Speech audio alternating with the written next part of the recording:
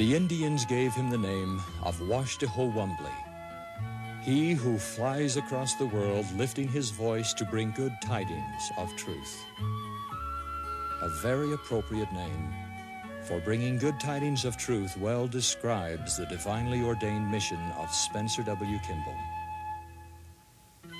The roots of this great man extend to noble progenitors, to Heber C. and Anne Alice Kimball, his grandparents, and to Andrew and Olive Woolley Kimball, the parents who welcomed him into their family in 1895. Thatcher, Arizona was the childhood home of young Spencer. Here he accepted and cultivated the blessing of hard work. In fact, in later years, he attributed his lack of height to his older brothers who made him work so hard slopping the hogs that it took all of the growth out of him. Most of the loves that marked his life began their development here in Arizona. A love for the land, difficult though it was to master. In later years, when he became owner of a plot of soil, he reverently picked up a handful of earth and said, This is my land. A love for his nation inspired a poetic effort in the third grade. I love the name of Washington. I love my country too. I love the flag, the dear old flag of red and white and blue.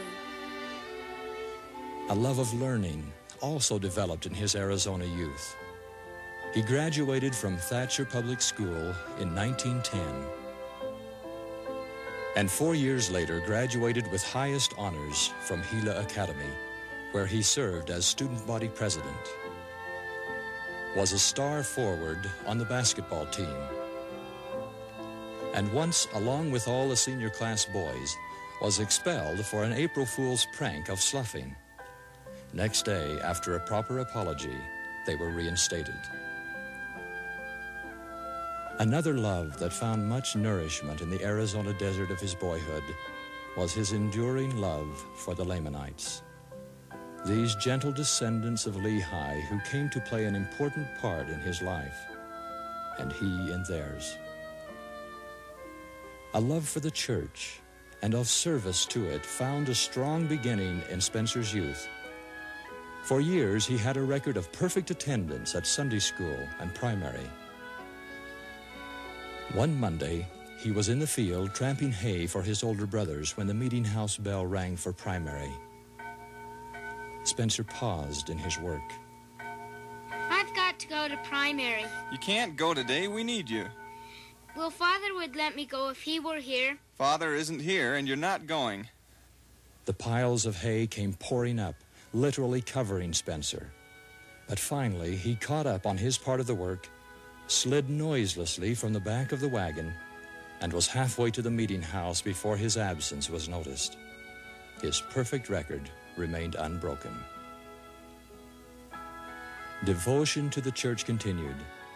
In 1914, he was called as a missionary and sent to the Central States Mission where he served with distinction. At the time of his release, he was serving as president of the Missouri Conference, or district. After his mission, Spencer returned home to attend the University of Arizona. At this time was introduced another of his loves that would last a lifetime and beyond. Camilla Eyring, a teacher at Gila Academy. She and her family had come with the saints in the Mexican Exodus, fleeing from the armies of Pancho Villa. Before long, Spencer was checking the time of day often, for in his pocket watch, he carried a picture of Camilla. In November of 1917, they were married and eventually were blessed with four children.